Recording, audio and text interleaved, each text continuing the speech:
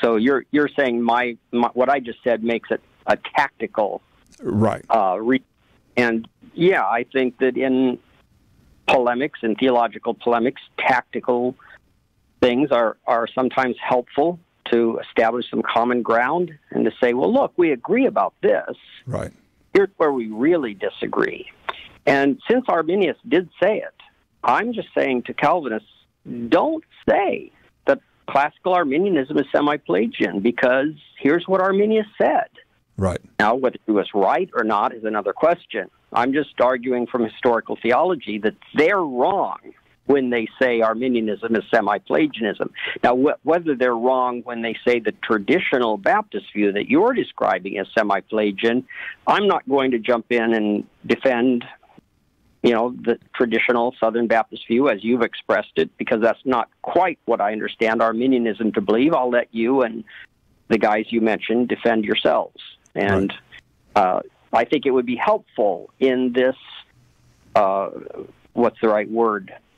I don't want to use any kind of violent language, yeah. but in this debate, yeah. in this debate, it would be helpful if we all non Calvinists lined up kind of together and said, look, we agree with you that the natural fallen person is incapable of making a faith decision apart from a special work of the Holy Spirit freeing their will to say yes. And that comes through the gospel preached and taught and communicated to them. And if we all lined up and said that, then this whole accusation of semi Pelagianism might just die away. And I wish it would.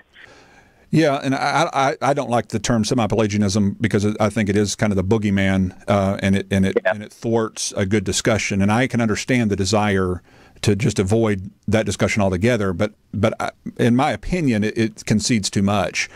Um, and yeah. and I do think that well, the fact that semi-Pelagianism didn't begin until Beza uh, in I mean at least the terminology of semi-Pelagianism right. didn't begin until Beza in the 15 you know what 1566 or something like that. I think that's from David Allen's uh, article on why why Calvinism I mean why the traditional statement cannot be semi-Pelagianism, which I have at Soteriology 101 for those who are interested in getting to the nuances of that. He does go through that really in detail to, to explain that the the issues that they are discussing originally between Pelagius and uh, Augustine um, do not really uh, pertain to our, our, our nuanced differences even in this discussion, and he explains very clearly why that is with references to original sources.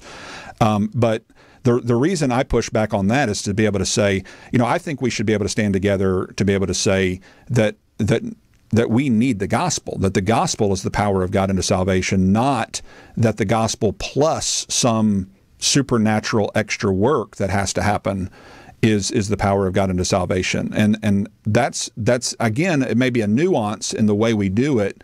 Um, I just think that when it comes to other issues of discussion, that may be a tactical side for me, is that there's other tactical issues that when you when you concede that point, for example, when you said that the person has to be freed, okay, so so a person could be freed and then not saved. What are they being you know what I mean? So in other words, they can yeah. be preveniently graced um, and and made alive or quickened or freed to some degree, but mm-hmm. still mm-hmm. but still refuse the gospel and be lost. So they can they can be freed and still bound at the same time. Mm-hmm. Well, they can be freed and say no. and that's the essence of free will. That they have the option to say no to God's offer of free grace. Uh, but they also have the option of saying yes. Right. And without prevenient grace, they really don't have that choice. But so I don't. You know, this is yeah. This getting into the weeds. I think. Yeah, of, no, uh, it kind of is. You know, and, this ain't the weeds. I guess yeah. I would just push to say that if somebody's in bondage, they can still admit they're in bondage without being freed from the bondage, like an alcoholic, for example. An alcoholic right. can still be addicted to alcohol and say, I, am addicted to alcohol and I need to be checked into a rehab facility and submit to that without being freed from the addiction first.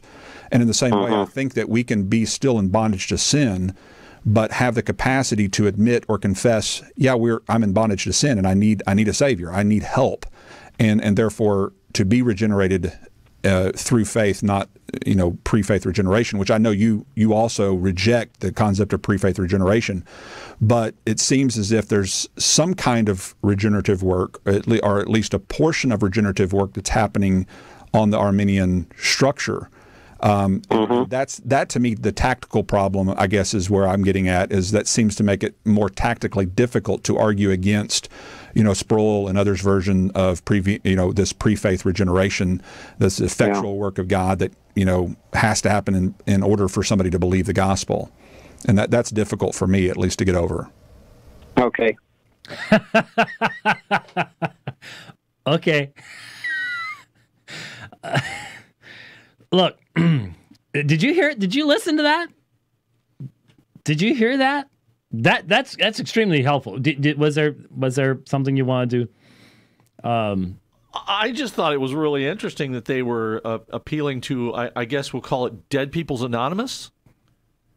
You know, he talked about it's not like it's AA or, or something like that. They still can make, and it's like, okay, so dead, we're back to the moral neutral ground, the right. prevenient grace. But then, as far as the choices go, we're still, you know, the, people aren't actually all that dead. No, of course begin not. with. No, so you know, no, we're but, back to you know the, the, he uses the AA analogy, and I'm like, well, actually, dead people's analogy. Uh, well, see, analogy. the thing is, we we can agree with Leighton Flowers the not only is there just no biblical basis for the concept at all of prevenient grace, it's just not there. It is the cellophane tape of Arminianism.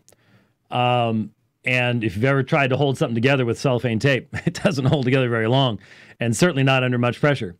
Um, so I, he's right that it doesn't make any sense to have someone partially freed, partially regenerated, whatever, by some prevenient grace concept. That that doesn't make any sense.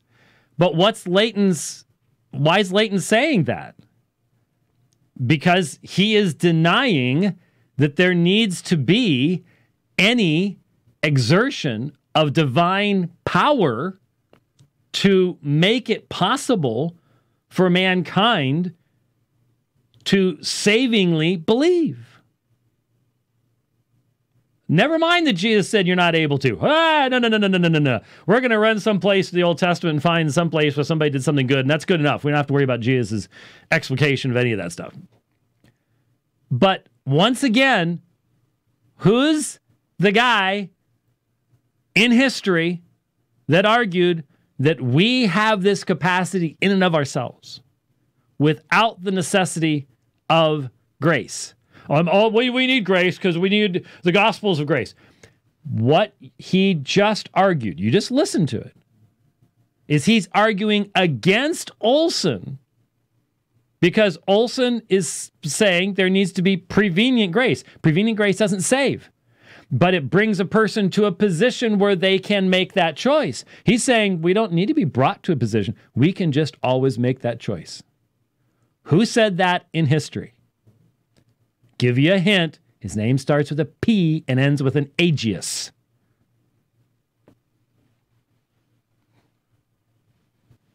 I just play them, folks. I just play them. Thanks to the individual on Facebook